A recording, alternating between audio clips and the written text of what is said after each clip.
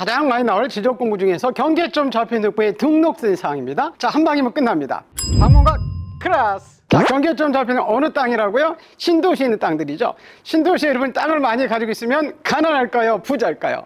부자가 되겠습니다. 근데 부자 이름이 강부자가 아니고 무슨 부자일까요? 고부자입니다. 고부자. 자, 그래서 경계점 잡힌 득부에는 무슨 부자가 살고 있다고요? 고부자가 살고 있습니다. 그 고부자가 살고 있는데 그 중에서 이 부자는 다른 데는 없고 경계점 좌표 등록부에만 있죠. 자, 그러면 경계점 고가 뭐예요? 고유번호죠. 고유번호. 부는 뭘까요?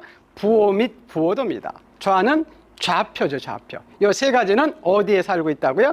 경계점 좌표 등록부에 살고 있다. 그 중에서 부호와 부호도 좌표는 다른 지적금은 없고 경계점 좌표 등록부에만 있다는 겁니다. 그러면 이걸 기초로 문제를 한번 풀어보자. 경계점 좌표 등록부에 등록된 상으로 옳은 것으로 나열된 거 이렇게 써 있죠? 그럼 무슨 부자?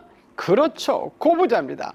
그래서 고부자가 있는지 없는지만 여러분이 확인을 하시면 됩니다. 자, 근데 1번 집어넣고 이동 사이에 고부자가 있나요? 안 보이죠. 그럼 정답이 아니죠. 자, 2번 볼까요? 그죠? 토지의 고유번호, 부호 및 부호는 어, 여기 보이네요. 그죠? 그러면 묻지도 않고 따지도 않고 정답이 2번이 되겠죠. 자, 우리 경계점 좌표등부 올해 나올 확률이 굉장히 높으니까 다시 경계점 좌표등부에는 무슨 부자가 살고 있다? 그렇죠. 고부자가 살고 있다. 그 중에서 부자는 경계점 좌표 등록부에 있다. 다른 지적금보다 꼭 숙기에서 여러분 꼭 합격하시기를 부탁합니다.